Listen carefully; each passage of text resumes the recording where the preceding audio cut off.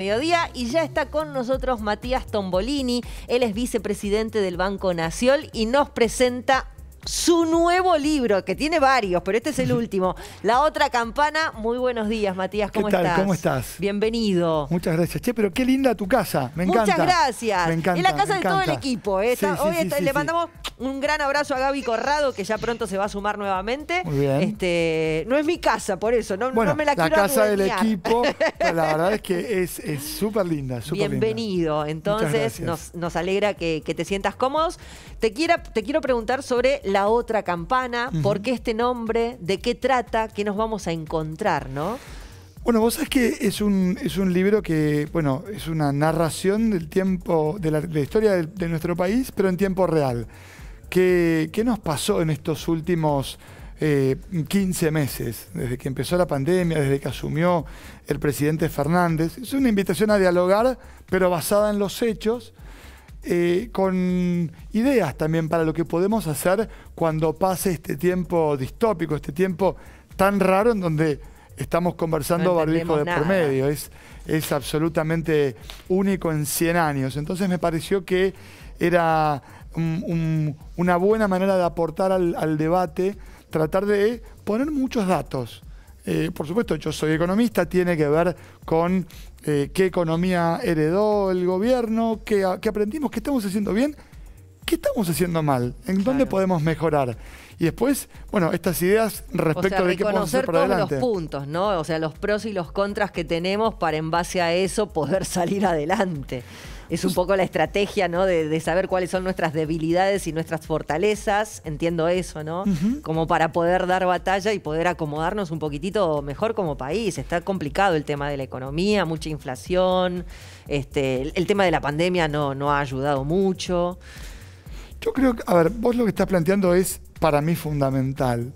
Porque, o sea, por lo menos lo que yo entiendo, yo eh, en el banco trabajo porque el sueldo me lo pagás vos con tus impuestos. Entonces, cuando vos sos un servidor público, que de eso se trata, si no escuchás lo que le pasa a la gente a la que querés servir, es imposible que mejores.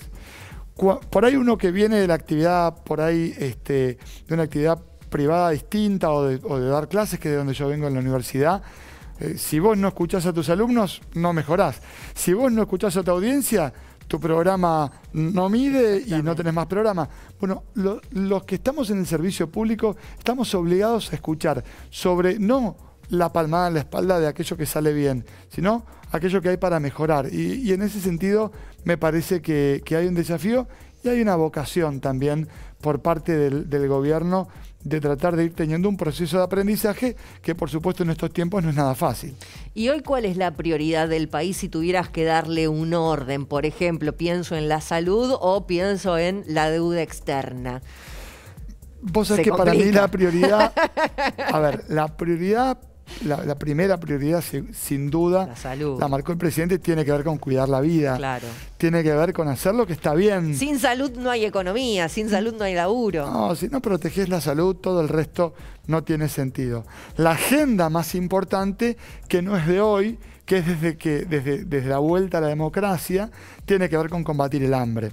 Me parece que el presidente fue bastante claro y acertó en su mirada respecto de lo que viene para la Argentina cuando empezó su mandato allí por diciembre de 2019, porque nosotros no nos podemos permitir tener un país con 42% de pobres y en donde los chicos y los pibes y las pibas tienen una tasa de pobreza del 57%. Ese, Por- ese número es durísimo, Eso es- ¿eh? eso es Ese un- número eso es un durísimo. fracaso Casi colectivo. el 60% de los menores de 14 años en línea de pobreza. O sea, ahí hay que atacar algo. Ahí tenés Hay que varias atacar de lleno, me parece. No sé cuál es la manera. No, a ver, Pero a con trabajo por ahí se me ocurre, ¿no? Generando Es que- trabajo. pero que lo que estás respondiendo vos es lo correcto. La respuesta no es ciencia interestelar. La verdad que es generar laburo de calidad. Y son múltiples los desafíos. Vos tenés que atender lo urgente, por eso me parece muy bueno eh, este anuncio del viernes pasado del Gobierno Nacional ampliando hasta 14 años el alcance de la tarjeta alimentar y inyectando... Antes era hasta los seis años, nada Hasta los seis años. se amplió Eso muchísimo el cupo. Te da más beneficiarios y más recursos. ¿Resuelve esto el problema de la pobreza? Claro que no. Es un paliativo en un tiempo en donde hace falta... bueno, Acompaña, es una medida que acompaña el momento. Exactamente. Ahora, la manera de resolver para siempre el problema, el problema de la pobreza tiene que ver con reactivar la actividad económica y con tener el foco puesto en algún lugar. Nosotros lo tenemos en la creación de empleo.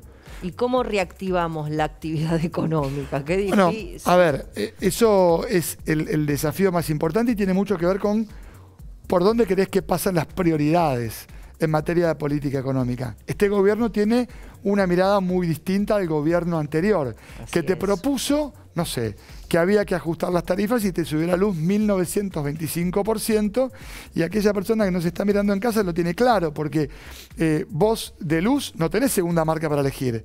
De agua no hay segunda marca, No, tampoco la tenés de gas. Me acuerdo, tarifas estrafalarias. Bueno, pero eso, locura. eso te afecta en casa, pero también afecta a aquella persona que nos está mirando que tiene una peluquería, que tiene un comercio de barrio. Los costos le subieron un montón. La inflación fue altísima, fue en cuatro años 286% y los sueldos solo 230.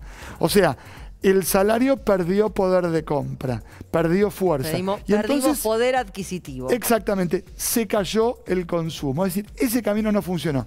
¿Qué estamos intentando nosotros? Primero, políticas de mitigación. Difícil sostener el poder de compra del salario en una situación en donde Argentina y el mundo transitan una, una crisis económica que es, es interesante, no está generada por la economía, está generada por justamente la consecuencia de la pandemia. Pero Argentina empezó la pandemia ya en crisis económica porque venía una fuerte recesión. Eso configura el punto de partida. Ahora, cuando te toca gobernar, vos no podés estar dando explicaciones de, de- las limitaciones que tuviste en el pasado. Diagnosticamos el pasado, eso hago al comienzo del libro, y después trabajamos en el presente. Y este gobierno hizo cosas. Seguro que hay más para hacer, seguro que hay para mejorar un montón y hay errores para corregir. Pero la política de mitigación, que la política de mitigación es básicamente como, eh, yo te diría, tratar de generar herramientas que achiquen la onda expansiva de una bomba nuclear que cayó en nuestra economía. El ATP, el IFE. Bueno, son políticas que intentan sostener la rueda de la economía y este año, muy importante, políticas que tienen que ver con la inversión. Yo soy vicepresidente del banco, imposible que no pase el chivo. Déjame que te cuente que es el único banco que te puede dar créditos para invertir. Justo te quería preguntar de, eso. Por es es eso, lo que más por el tema de las pymes, ¿no? Que también están atravesando un momento muy duro a propósito Terrible. de la pandemia. terrible porque se quedaron sin ingresos. A mí me han contado, María, situaciones, eh, pero a ver, escucha, yo tengo gente que le cerraron el negocio de un día para el otro y le quedó la plata en caja adentro de un shopping.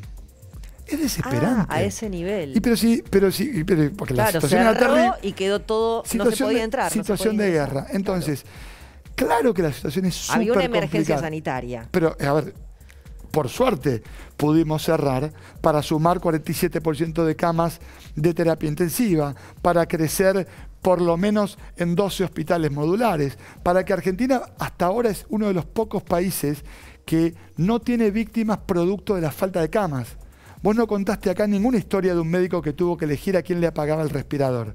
Y eso fue producto de la prudencia y de una dirigencia que el año pasado, este año ya no, pero el año pasado se puso de acuerdo justamente en las medidas de restricción para proteger que la se vida vuelvan humana. a poner de acuerdo, ¿no? Y Porque la verdad que era muy buena ese. la imagen cuando salían a comunicar.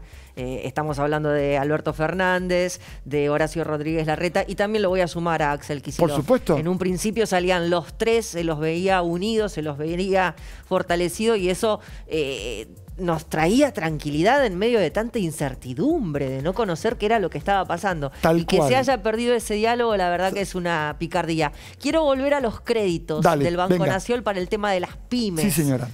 Contanos, eh, nos, Bueno, a nos ver, ibas a hablar este, de esta nueva ahí línea tomo, de créditos. Ahí tomo envión, porque la verdad que yo estoy muy contento con lo que estamos haciendo en el banco. Nosotros, cuando llegamos a la gestión del banco a comienzos de 2019, eh, básicamente bajamos 30 puntos la tasa de interés. O sea, pedirle plata al Banco Nación para laburar no para la bicicleta, costaba 59,60%. La bajamos 30 puntos la tasa. Hoy, si vos tenés un comercio, si vos tenés una pyme, podés acercarte a alguna de las más de 700 sucursales de nuestro banco. Un banco que tiene mucho que ver con quienes trabajan allí. Los empleados del Banco Nación son realmente el banco. Nosotros estamos de paso, esos, son la historia del banco, que cumple 130 años este año. Mirá. Te acercás, abrís la cuenta y allí tenés créditos para el sector turístico a tasa cero. Gastronómicos desde la semana que viene, crédito a tasa cero. Si tenés un comercio y nos estás mirando para capital de trabajo, 28%. Capital de trabajo es comprar mercadería para vender. Pero si querés invertir, el Banco Nación está retomando el rol de banca de desarrollo y te presta el 24%. Recordemos que, por lo menos hasta hoy, los últimos 12 meses, la inflación fue 42%. Y te presta más de cuatro años, Mariela, para poder invertir, para poder de vuelta mover la rueda de la economía. Tenés descuento de cheques, tenés préstamos que inclusive están por debajo. Si una mujer está al frente de, la empresa, tiene tasas de menor del 22%. Es decir, para incentivar. Hay, hay varios beneficios para incentivar nuevamente que, la rueda empiece, a, a, funcionar. www.bna.com.ar y importante, aquel comerciante, aquel empresario pyme, aquella comerciante, aquella empresaria pyme que, que no encuentra el producto adecuado, lo que tiene que hacer es quejarse nos tenés que contar qué estamos haciendo mal para que lo podamos hacer mejor. Para poder corregirlo. Sin duda. Claro que sí. El, famoso no se queje si no se queja. Yo tenía un programa hace muchísimos años que se llamaba así, no sé por qué lo dije. Bueno, eh, Matías, un placer tenerte acá. La otra campana es su último libro, ya está en todas las librerías y bueno, están todos invitados a, leerlo, ¿no? Ojalá, ojalá que les guste y ojalá que sea de utilidad para el debate público. Muchísimas gracias eh, por, por haber pasado por Mañanas Públicas. Gracias a vos Hasta la próxima. Seguimos con Irina ahora.